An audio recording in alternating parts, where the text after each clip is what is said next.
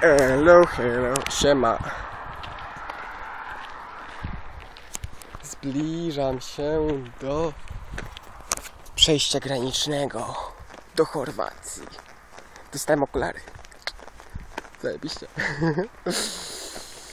tak więc moja podróż powoli spowalnia.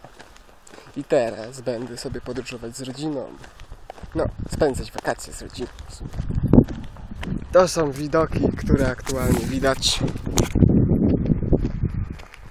A ja sobie idę. Jestem w Bośni. Zostało mi 10 km do przejścia granicy do Chorwacji. Kieruję się w stronę Imoś, Imośki. Imoski. Moczki. Zależy kto wypowiada. Pogoda jest bardzo gorąca, ze 35 stopni. Słońce, zero chmur na niebie. Jedno auto na parę minut jedzie. Ale jest wspaniale.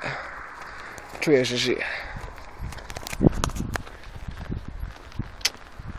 Czuję, że naprawdę żyję. A, uwielbiam podróżować. Jest coś wspaniałego. Inne kultury, inne języki. Te próby dogadania się z ludźmi. To jest wspaniałe. O, wspaniałe krajobrazy. Budynki, architektury, inne religie. To po prostu coś wspaniałego.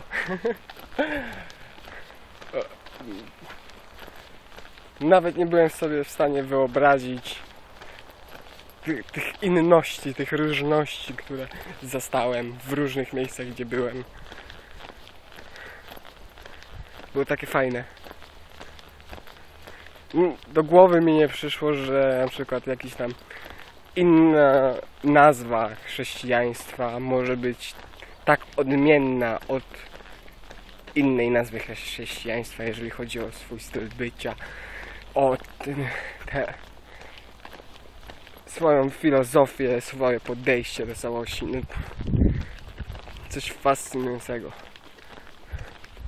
Myślałem, że o, e, cała różnica jest tak, jak mi powiedzieli, że to po prostu. No tu akurat mówię o. Nieważne. Może kiedyś powiem.